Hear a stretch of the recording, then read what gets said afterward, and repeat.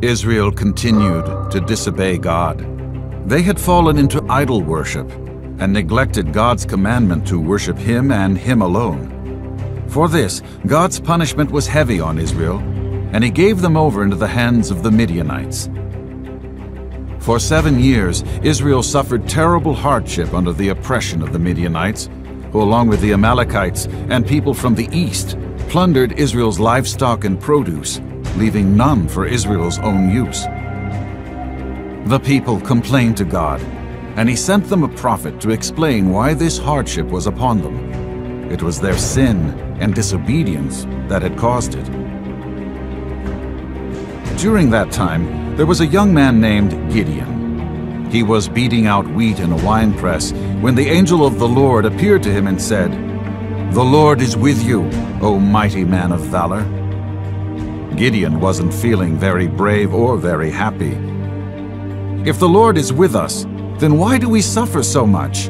And why are we being oppressed by the Midianites? The Lord then looked at Gideon and said, Go and deliver Israel from the hands of the Midianites. Gideon was in shock. How would he, a young man from the weakest clan of the tribe of Manasseh, be able to deliver Israel from the Midianites? The Lord replied by assuring Gideon that God would be with him. God was going to give him the strength to fight the Midianites, and he would give them victory. Gideon was in disbelief.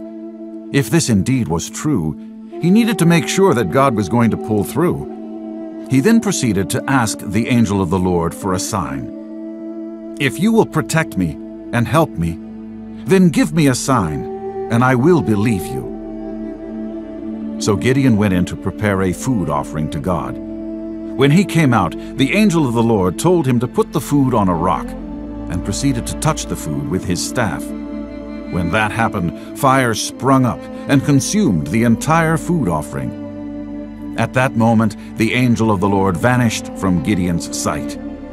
God just showed Gideon a mighty sign. That night God continued to work in Gideon's heart, preparing him for the big task ahead. He told Gideon to break down the statue of Baal his father built and cut down the Asherah next to it. These false gods were what got Israel in trouble. Israel was still foolish enough to believe that a wooden statue could actually help them, instead of relying on the one true God. Gideon was still scared and needed more courage. He asked God for another sign. This time, he was going to lay a wool fleece outside. If, when he awoke, there was dew on the fleece, but none on the dry ground, he would be sure that God was with him. Just as Gideon asked, it happened. The next morning when he woke up, the fleece was wet, and the ground around it and everywhere else was dry. God listened to Gideon's request and gave him a sign. But poor Gideon was still scared and needed more reassurance.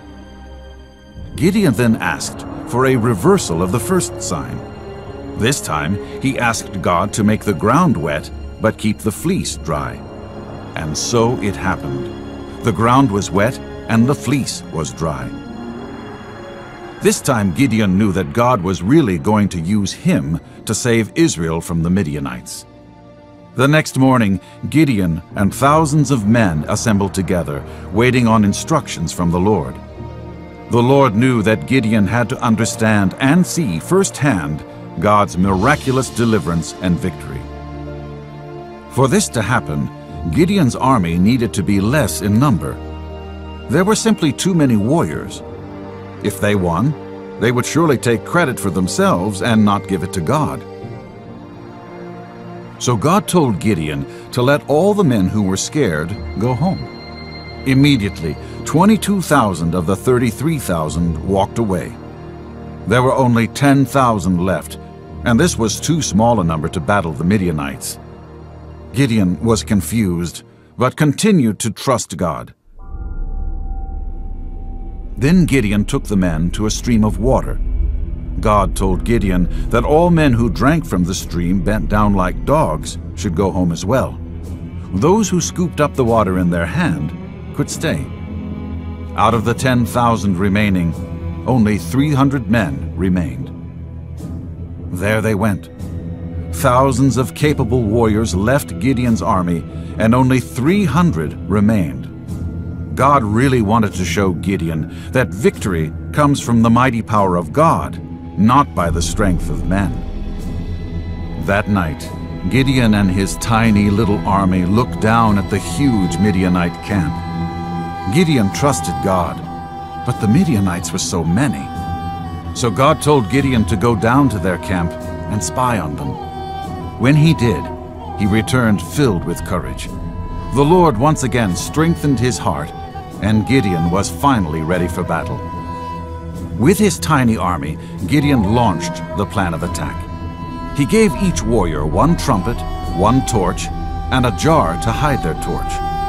In the dark of night, they would stand on the mountains around the Midianite army. When Gideon blew his trumpet, it would be a sign for everyone else to blow theirs. Then they would break their jars and shout, For the Lord and for Gideon. They carried it out exactly as planned. When Gideon gave the signal, the 300 men blew on their trumpets and shattered their clay jars. The sound of shattering pottery echoed off the mountains, filling the valley below with the noise. The Midianites were awake, confused and scared. They looked up at the flickering torches all around them, heard the crashing sound of the breaking jars, the piercing blasts of the trumpets. They didn't know what to do. In their confusion, they grabbed their weapons and started running and fighting anyone and everyone, thinking they were battling Israel. It was a sight to behold. The confusion spread so rapidly that the Midianites ran away.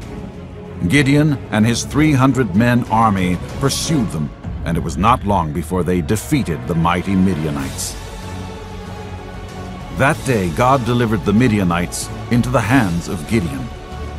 God's mighty power once again proved that he was the one true God, and that he wanted to bless and protect his people. All Israel had to do was to put their trust in God and serve him alone.